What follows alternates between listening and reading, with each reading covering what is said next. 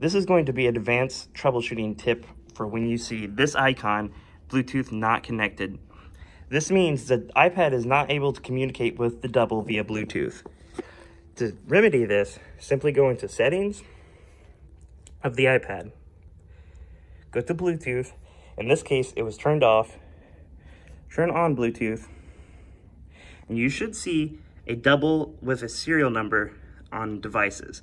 It is not currently connected. To double check that this is the correct double, on the bottom of the double itself, you will see the serial code for the double. This will show up in the Bluetooth menu. As, as you can already see, the double wants to connect to the iPad.